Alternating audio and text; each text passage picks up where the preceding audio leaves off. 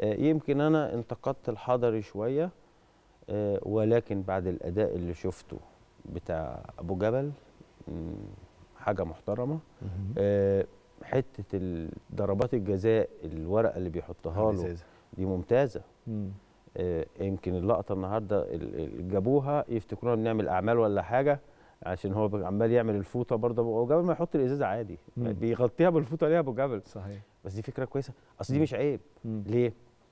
انت وانت المدرب وهو بينزلك لعيب عادي بيديك. ورقة في إيدك ساعات تديها اللعيب بيقول لك تعليمات فيها فدي مش لا، دي مش مش- آه، ما فيهاش. حاجة آه مش مخالفة طبعا فانت لازق له ورقة رقم ستة بيشوط يمين رقم سبعة بيشوط شمال رقم مش عارف إيه برشامة شرعية بالظبط برشامة. الغش آه. كده بس دي برشامة الش... البرشامه شرعية مش دي شطارة من يعني. الحضري آه يعني شوف أنا انتقدته قلت له أحمال تدريبية بتاعتك بس دي شطارة منه مم. وحاجة أنا ما شفتهاش في مدربين من حراس كتير خبرة برافو عليك. خبره خبرة ملعب بقى. خبرة ملعب. مش خبرة مدرب ده خلاص. أنا وبعدين ل- لف ورا الجون وقف. قلت ده بيعمل إيه ده؟ يا حضر أنت هت...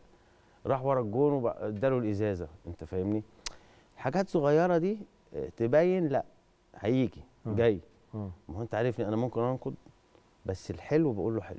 عارف بقى يا كابتن محمد أنا بحبك ليه؟ وبحترمك ليه يا كابتن حبيبي عشان حضرتك من الناس اللي انتقدت وهاجمت. آه.